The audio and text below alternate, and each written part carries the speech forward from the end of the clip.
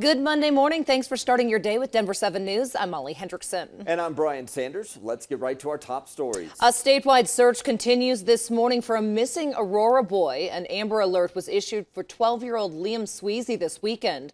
The car he might be in was last seen Saturday afternoon in Grand Junction.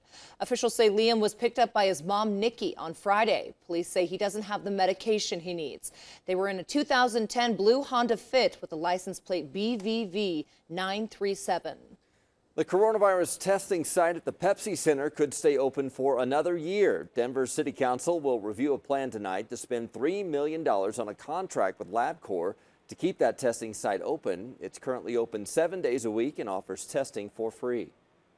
Motor vehicle offices are opening today for the first time in more than three months. Visitors will see new glass dividers between customers and employees and social distance markers. If you're going, you'll need a cell phone, a mask, and your patience. They're expecting long lines today, but the lines won't be inside. Customers will wait outside and get a text when it's their turn to come in. Now here's meteorologist Lisa Hidalgo with a check of our forecast.